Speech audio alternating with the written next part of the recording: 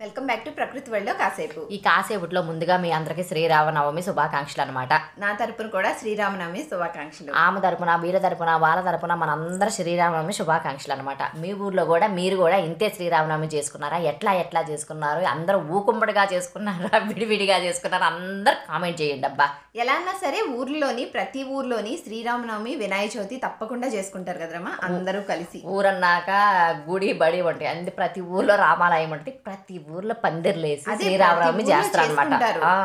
అంటే ఈ రెండు పండగల్ని అందరూ కలిసి చేసుకుంటారు. వినాయక చవితిని శ్రీరామనవమి అనమాట. ఈసారి మీకు ఆల్రెడీ ఇంతకు ముందు వీడియోలో చెప్పాను కదండి ఈసారి తలంబ్రాలు మేమే వేస్తున్నాం అనేసి.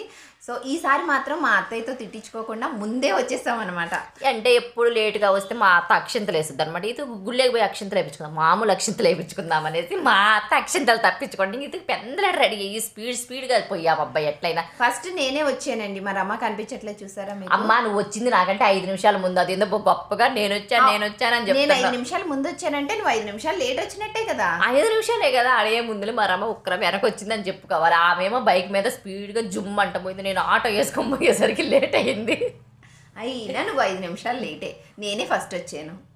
అబ్బా బొత్తే వచ్చావులే ఆ, తెల్ల ఈ గ్యాప్లో నాకు ఒకసారి ఫోన్ చేసి రమ్మా ఏడను అంటే నాకు ఇనిపిత్తేరా నాకు ఇనిపిది ముందే చెవిటి మొద్దుంది. ఆ పిల్ల పిల్ల ఎట్టాడు అయిపోయా. దాని గురించి ఇంకెందుకులే కానీ వాళ్ళందరూ ఎట్టాడు చేసుకుంటారో వాళ్ళని కూడా అడుగుతాం కానీ అక్క. నువ్వు రాకపోయేసరికి నాకు కాలు చెయ్యి ఆడలేదన్నమాట. అందుకనేసి నీకు ఫోన్ చేశాను. నీకు ఆడవని నాకు తెలుసులే. నేను కీర్తి వచ్చానక్క నేను వచ్చిందాక ఏం చేసినావు అక్క నువ్వు? ఈసారి ఏంటంటే ఎప్పుడు ఫస్ట్ అత్తయ్య రెడీ అయిపోయి ఉంటుంది రమ వచ్చిందక్క అది ఆటో ఉంది. అవల నుంచి రమ వస్తుంది.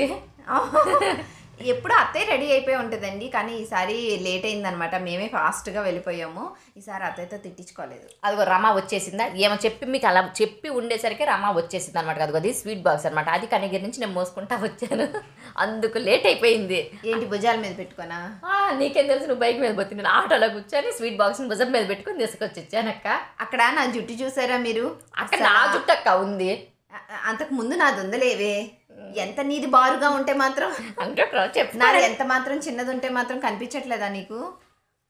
ఏమా ఇంతకుముందు ఏం చెప్పింది? ఎక్కడికన్నా పెళ్ళిళ్ళకి ఫంక్షన్లకి పోయేటప్పుడు ఏ ప్రయోగాలు చేయమాకండి అని పదే పదే మనందరికీ హితప వచ్చేసిందా? ఏమా తరంరాలు పోసేది నేను కొంచెం అందంగా ఉండాలి బాగా గ్లామరస్ గోల్గా ఉండాలి అనేసి జుట్టు కత్తిరించుకుంది. ఎట్ట కత్తిరించుకుందో తెలుసా? స్ట్రైట్ కటింగ్ అనమాట అది. ఆ స్ట్రైట్ కటింగ్ చేయించుకున్నాక అది ఎట్టుందో తెలుసా? బోడిగా ఉంది పిల్ల. అస్సలు నిజంగా ఎంత బాధపడ్డానో. వాళ్ళకి ఎట్ట తెలుసు నిజమో అబద్ధమో? నువ్వు చెప్పొచ్చు కదా నీ దగ్గరే కదా బాధపడ్డాను. బో లబోదిబో లబోదిబో లబోదిబో అని ఏడ్చుకుంటా ఉందంటే కళ్ళమ్మ నీళ్ళు కార్చుకోలేదులే మనసులో లబోదిబో లబోదిబో అనుకుంటుంది. అయినా కాదు నేను బాధపడ్డం ఒకటి మా రమ బాగాలేదు కదా రమ అంటే నువ్వు ముసిముసి నవ్వులు ముసిముసి నవ్వులు నవ్వుకుంటూ అది అది నాలుగేళ్ళు ఎందుకు అమ్మ అసలు కత్తిరించుకుంది? ప్రశాంతంగా ఉండగా అదిగో రమా వచ్చిందా రమా వచ్చిన తర్వాతనే పసుపు పోస్తుంటే బొట్లు పెడుతుంది అనమాట మా అక్కకి నేను లేకపోతే ఎక్కడైనా కాళ్ళు చేతులు ఆడవని నాకు తెలుసు నేను వచ్చేసాను ఎమ్మటే. సో ఇద్దరం అదే దీప్ ఏంటి దేవుడి గుడిని శుభ్రం చేసేసి పసుపు పూదిచ్చి దేవుళ్ళని అలంకరించి అక్కడ పెట్టేసామన్నమాట దేవుడి గుడిలో. అక్క ఎట్టయినా ఇప్పుడు మనం కడపగట్టకి పూజిస్తున్నాం కదా నాకు అప్పుడు డౌట్ వచ్చింది. నువ్వు కూడా ఈ పక్కనే కూర్చుంటే లోపలికి ఎవరన్నా బావాలంటే అక్కడ నెయ్యాల్సిందే కదా అక్క. బండోళం అయిపోయింది కదా అక్క ఎట్టయినా. ఇంతకుముందు స్లిమ్గా ఉన్నాం. అసలు ఇక్కడ ఇద్దరం చూసారా? ఆ తర్వాత అయిపోయిన తర్వాత ఇద్దరం లోపలికి రావడానికి ట్రై చేస్తే ఒకళ్ళమే రావాల్సి వచ్చింది. ఇద్దరం పట్టలేదు లావ్ అయిపోయినాం అబ్బాయి ఏం చేస్తాము ఏంటో. మా ఎక్క బాధ నాకు అది నే నేను పోదాం అనుకుంటే మన దూరుతుంది అనమాట అత్తకాడ మార్కులు కొట్టేయాలని పసుపు వస్తుంది అత్తకి.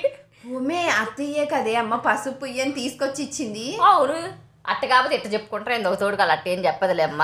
ఆమె మార్కులు కొట్టేయాలి అత్త దగ్గర అనేసి పసుపు పూదిచ్చింది అదే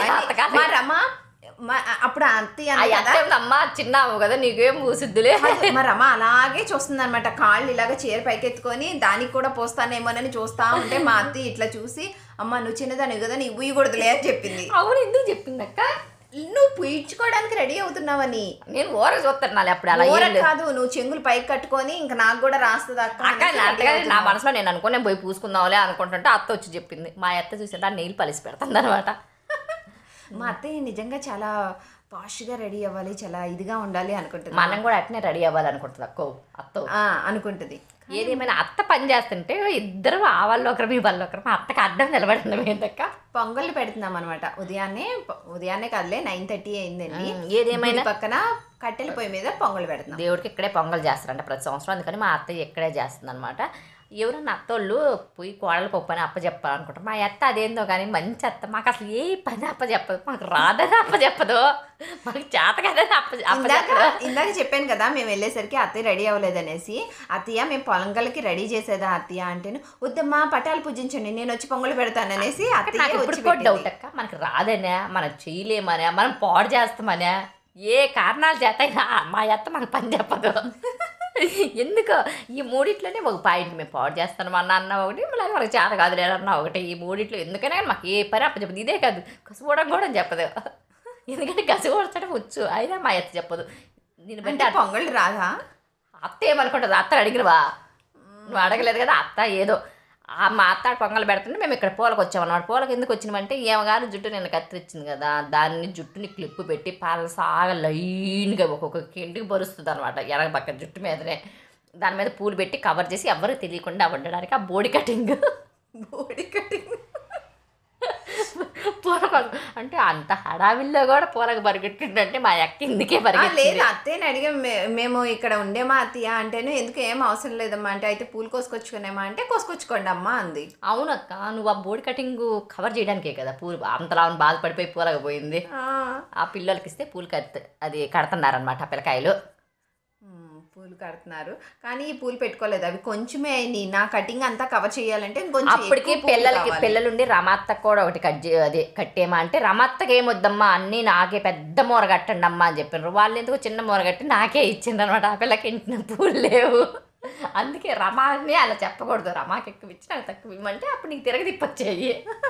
ఇక్కడ ఏం చేస్తుందో తెలుసా? పానకం చేయడానికి బెల్లం ఉందన్నమాట. ఆ కవర్ ఎందుకో చించుకొని చించుకొని తీసుకుంటుంది పిల్ల ఒకసారి దిత్తి పోయేదానికి. పానకం ఎలా చేయాలి? పరదా లేదు అనేసి చూస్తున్నారు. అత్తయ్య ఏమో లేదు ఇక్కడ ఇంట్లో లేదు. సో అందుకనేసి నేనేం చేశానంటే ఈ గోన్లోనే వేసేసి పగలగొడదాము అది ఉంటుంది కదా దంచుకునేది. దంచుకుంటది కదా రాకలే అని చెప్పక్క కదా రోకల బండి ఉంటుంది కదా రోకల బండితో దంచితే సరిపోతుంది అని. రోకల బండి తీసుకొచ్చి మూతి కట్టి పడుకోబెట్టి ఆ, ఏం చెయ్యాలక్క పడుకోబెట్టి కొట్టండి. కొట్టు నువ్వు కొట్టక్క రెండు దెబ్బలు కొట్టు. రాక రాకల్ బండి ఆడింది ఉందిగా ఆడే కొడుతుంది ఏంది? మర్చిపోయిందేమో ఒరే, కొట్టండి రా, ఏంటని? కొట్టేది?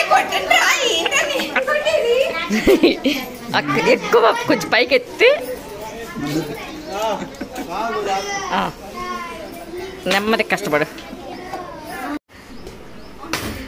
అంటే నిజంగా కష్టపడుతున్నట్టుందిరా? ఆ, అయ్యయ్యో. ఏ అక్క. ఇది ఏమన్నా అలా కొట్టింది ఇది.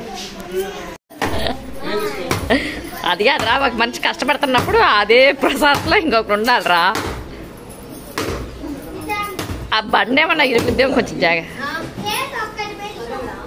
ఇప్పుడు కొట్టాక రెండు దెబ్బలు కొట్టింగా? కొట్టిన కదా ఇంకా చాలే. ఊర కొడుతుందేమో బెల్లం నలగకుండా కర్ర సా ఏదో పాము సాగకుండా కర్ర ఎరగకుండా ఏదో అంటారు చూడు అట్టట్టు తడతన్నమేమో అనుకున్నా కానీ మొత్తానికి బెల్లం నలగ కొట్టావక్కో నీలో కూడా స్టామినా ఉందో. ఇక్కడ రాముల వారికి కింద పక్క ఒడ్లు పోస్తారనమాట ఆ ఒడ్లు తీసుకెళ్ళిపోతున్నారు మావయ్య. ఇక్కడ పొంగల్ అయిపోయినాయి అక్క. పొంగల్ అత్తయ్య అయిపోయినట్టుంది. పొంగల్ చేస్తుంది అండ్ పంతులు వచ్చేసి ఆ విగ్రహాలకి బట్టలు అవి వేసేస్తున్నారు. దాన్ని కూడా ఏదో చూతురక్క వస్త్రాద వస్త్రము అని ఏదో చూతురక్క మనకు అందరూ పెద్దవాళ్ళం కాదు కాబట్టి మనకు ఆ నాలెడ్జీ లేదు. ఎందుకు? మా అత్త అయితే వడపప్పుకి నానేస్తుంది అనమాట అన్నీ అత్తయ్య చెయ్యాలంటది. మమ్మల్ని అసలు ఏలు కూడా పెట్టనివ్వదండి నిజంగా. అంటే మేము పాడు చేసేస్తామనో లేకపోతే ఏం చేస్తామనుకుంటుందో ఏమో. చెప్పేది మనకు రావేమో అన్న విషయము. ఏమో అసలు ఏవి చేయనివ్వదు. అమ్మా ఆయన- తీసుకొచ్చి నాకు ఇచ్చారనమాట ఉషా ఇవి నానయ్యమ్మ అనేసి. ఆడ పెట్టమ్మా నేను నానేస్తాను అనేసి ఆమె ఏదో పని మీద వెళ్తూ కూడా నన్ను నానేయనివ్వలేదు. అక్కడ పెట్టమ్మా అంటే అక్కడ పెట్టు ఇక్కడ. ఉషక్క వాళ్ళ అమ్మ నాన్న అనమాట పెళ్ళిపేటలు ఎత్తుకొని వస్తున్నారు.